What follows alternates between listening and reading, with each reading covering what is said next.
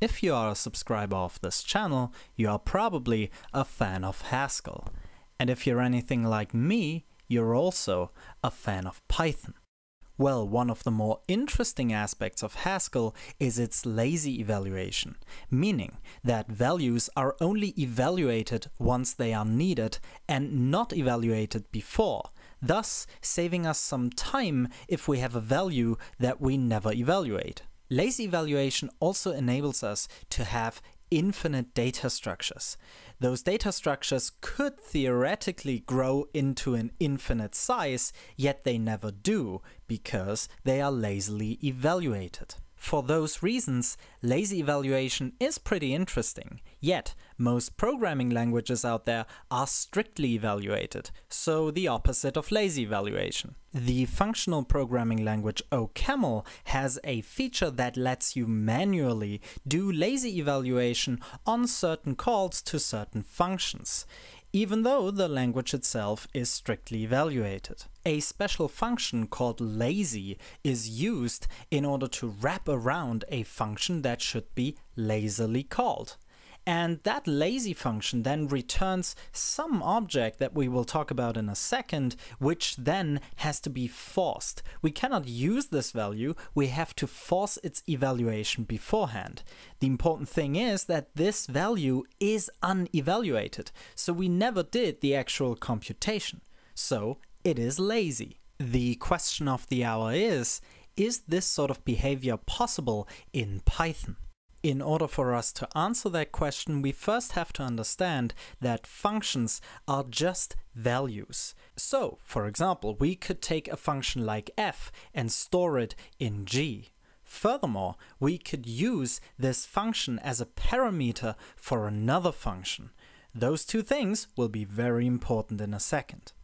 It is also important to understand how lambda expressions work.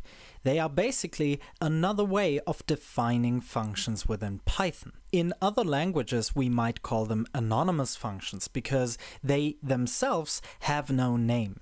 They are a quick and easy way of writing new, smaller functions that simply have some return value and have no real control flow. Since we now know that we can store functions in data structures, we should think about how to store arguments. Funnily enough, arguments in Python are nothing but tuples, which can be accessed with a special star expression. When we want to achieve lazy evaluation, we have to store the function as well as its arguments that later need to be applied to the function. So we could do that in a data structure like a tuple. In this demonstration, I will call the tuple a thunk, since that is the terminology that Haskell uses. With the star expression, it is then possible to call that stored function with the stored arguments. Thus, we could write a special function that then applies this thunk, meaning it evaluates the deferred computation, which is lazy evaluation. Luckily, we do not have to use tuples for this. We can use objects. So we will create a new lazy class. That class will save the function, its arguments, and whether it has been executed already and the computed value. So we are simply caching the result of this function. Then we define a force method that actually forces the evaluation of the function and its arguments. Based on that definition, we can define a new function called lazy, which will take some function or value and produce the lazy object from it. When calling the lazy function with just one argument, that means that whatever this argument is has no additional arguments. So we simply have to return it when we want to force this thunk. So that means that the lazy object created from it simply uses the identity function, and we can already force it, because there is nothing to compute here. If there are more arguments, then we assume that the first argument was a function, so we create a lazy object from it with its arguments. The force function then checks if it actually encountered a lazy object. If not, we simply return it, and if so, we force it. Let's look at the lazy function in action. When we define a function like the add function, we can create a thunk from it with the lazy function. Thus, we have some lazy object that at first has no value, but after it has been forced once, it does have a value. Now it's important to know that when having side effects, like for example trying to set the main thread to sleep for a certain amount of time, this does not happen at the point when the thunk is created. Of course, we need some computation, we need some evaluation for that to happen. So it is very important to note that when using lazy evaluation, we should not and basically cannot use side effects, since the order in which these side effects will happen is not guaranteed anymore. One problem we have not addressed so far is the occurrence of lazy objects as arguments for our lazy functions. If that happens, we have to force the arguments manually. On the one hand, that is actually a nice feature because it lets us control precisely when values have to be forced. But most of the time, we actually do not want to do that. The forcing itself should be automatic. So let's do some changes to our class. At first we will create the binary method. The binary method takes some function, which is binary, and some other value, and then force the other value as well as our own value, and then use the binary function on these values. Based on that, we can actually override the binary operators for Python objects. After that is finished, we can also do the same for unary functions that only work on our object itself. The only exceptions that we have to make here are the bool and the string conversion functions, since they have to return bools and strings at runtime. Otherwise the program will crash. So that is a point where we have to do the forcing and cannot let the functions be lazily evaluated. Since that is the important point here. The binary and unary function wrappers create lazy functions. They do not force the values right at the point where we apply them, but they build a recursive forcing that is only done once the whole term needs to be evaluated. We also override the representation method so that we have a cleaner way of printing our internal values for our lazy objects. This enables us to build some algebraic terms that actually are lazily evaluated. As we can see here, C and D do not get evaluated until we force the evaluation of D.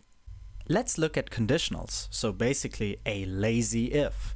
Well, it's nothing fancy. It is just a lambda expression where we force the conditional variable and then basically do our choice there. The lazy if function will then create a new lazy object that will hold the result of this condition. Now, it's very important to see that we have to have a true and a false branch. It is not possible to not have a result, since a false always needs to have some return value. Now let's look at a practical example. We will write the factorial function in this lazily evaluated style, yet we will create two versions, and the differences between them are very important. The first version descends recursively and creates more and more lazy objects. The second version defers this recursive call and does it lazily. The difference here, of course, is that the first function builds the whole lazy term right when we call it, but the second function only produces this term once we force it. From the outside, both functions are the same. They create a lazy object which has not been evaluated yet. Yet, if we set the recursion limit manually, we can see that the first version actually cannot construct its term while the second version can. Again, the difference being that the first version creates the whole lazy term when the function is called, and the second version defers that and does it lazily. Now, let's look at an example where lazy evaluation actually comes in handy. Here we define a function that just takes a while to compute. It's not really relevant what this function does. Now, the immediate advantage is that if we want to call this function, we would normally need to wait for the result to be computed, and with lazy evaluation, we don't have to do that. This is very helpful if we want to create a whole list with results of this function, but only need some of the results and not all of them. Then we can still build the whole list, which now contains lazy evaluated terms, and we can force those that we actually need. Okay, okay, that was a lot on lazy evaluation.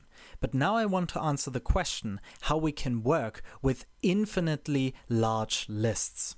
Because for that, we actually do not need the functions and objects we have created so far. We can use something called generators. A function you might have seen before which is very similar to generators is the enumerate function. The enumerate function returns an enumerate object.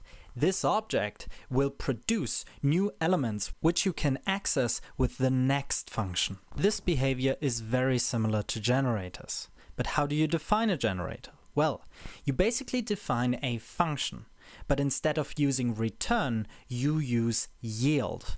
Yield will create the next value and then just continue with the control flow. So you could have a while loop, for example, and then yield some value and that value gets returned on the call of next.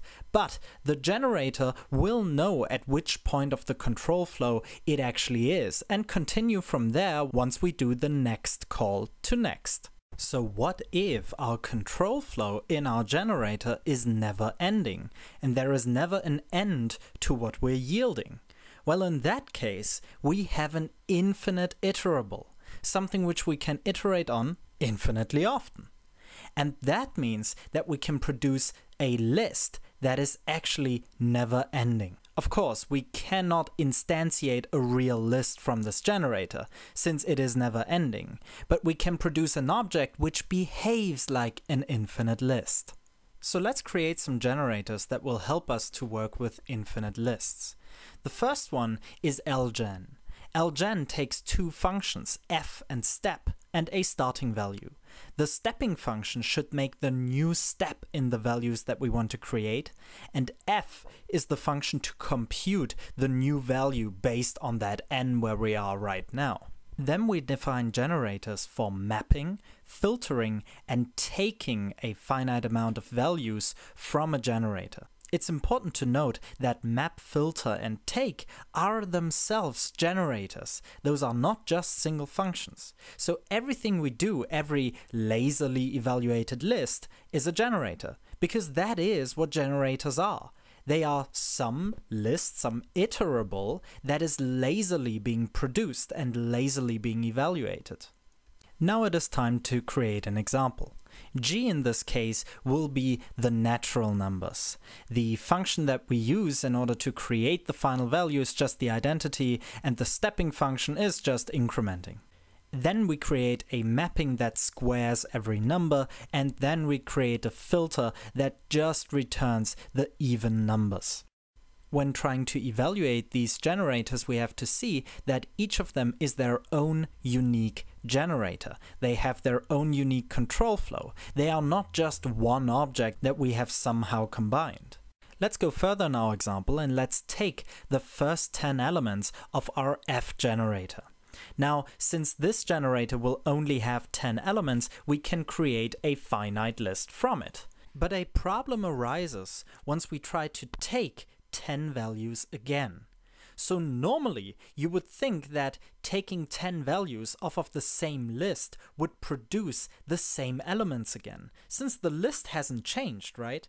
Well, that is not true for Python generators. They change because they cannot revert to their starting value we would need to reinitialize the generator in order for that to happen. So the generators, also the generators like G and M in this case, are at a certain point in their control flow and they do not revert. So if we now take another 10 elements from it, then we have the problem that we are taking 10 values after the values that have already been produced and consumed. Another problem is that if we have this take generator, it can only create a list from the elements once, because again, the generator has some control flow, and after it has produced the last element, it simply returns. It's done, it's finished. So creating a list from this generator twice will create an empty list. And the problems don't really stop there. Lazy evaluation is not the same as strict evaluation in a language like Python, so we have to be very careful when trying to implement it. In general, we cannot use side effects as part of our programming. So this means that basically input-output and object orientation are not possible anymore when we use lazy evaluation.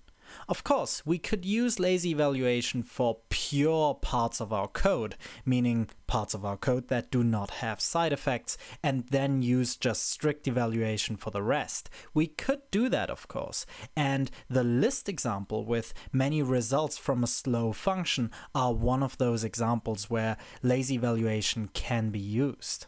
Another thing that we have not really discussed explicitly is that the implementation we have seen in this video uses memoization. We are caching the computed result of our lazy evaluation. That, of course, only works if we do not have side effects. But since this sort of sharing of results and values is one of the key improvements that you can do to lazy evaluation, I wanted to show that in the implementation in Python. If you are interested in more discussion on evaluation strategies, I'd recommend my video on strictness in Haskell. Also, maybe the videos on deepseq and the weak head normal form. They all discuss evaluation strategies, and those evaluation strategies, of course, are not unique to Haskell.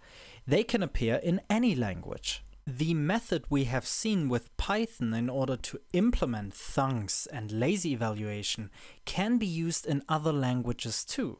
The only capability that a language needs is some way of storing functions and their arguments. If you can do that, you can implement this kind of lazy evaluation. So, for example, this can work in Java too. Of course, we have to do some type juggling and it doesn't look that great, but it works. If you want to play with the code for yourself, I have linked to it in the description of this video. Also, if there are any questions, please feel free to leave them in the comments below. I'd love to discuss this sort of lazy evaluation and non-strict evaluation in Python. And as always, thanks for watching. You wouldn't believe how many coffees I run through making one of these videos. If you'd like to support them, you can do so on Ko-fi, where you can, well, buy me a coffee. Any support is greatly appreciated. Thank you.